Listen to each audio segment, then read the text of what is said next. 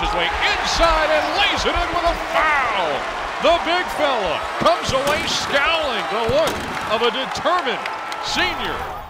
For this countdown to tip off, we're talking the Virginia Cavaliers. I'm Jeff Fischel with Mike Gminski, former Duke and NBA great. Mike, 12 teams, 12 seconds. Give me your take on the Cavs. Really an incredible year last year by Tony Bennett. Uh, a very good defensive team. They had a ton of injuries, but still wind up making the NCAA tournament. I think for them, it's going to be a matter of staying healthy this year. All right, you beat the buzzer. Let's find out how Tony Bennett plans to do things without Mike Scott this season we'll have to play a little different. I mean, we were so reliant, and I think rightly so, because he was productive as running our offense through him, getting as many touches for him in certain areas.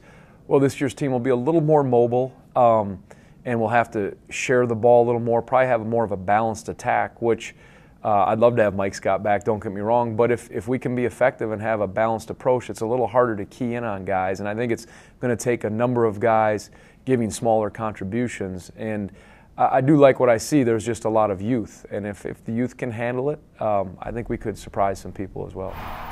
Mike Scott was first team All ACC, 18 points a game, eight rebounds a game. How does he replace Mike Scott? uh, very tough, a, a, unique player, and that's going to be a, an interesting question. But I think for them, Jontel Evans uh, coming off an injury now, he needs to be 100% for this team. Very good defender, good on the ball. Joe Harris coming off a broken hand last year. Malcolm Brogdon. They need those guys to play all the way through and, and be productive. And Tony Bennett will need freshmen as well this year.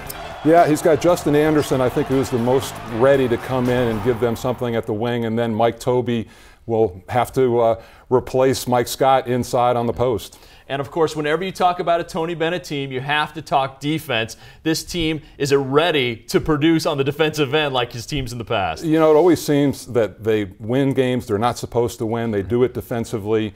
Um, I think it's just going to be a matter of can guys step up and collectively replace Mike Scott. That's going to be the big key. Okay, so last year 22 wins. They were banged up. They've lost Mike Scott. What do you think this season? 22 wins over under? Um, gonna, everything's going to have to come together for them to match that or uh, exceed it. Okay, that's Tony Bennett's team coming up the 2012-2013 ACC season. You're watching the ACC Digital Network, brought to you by Ruby Tuesday.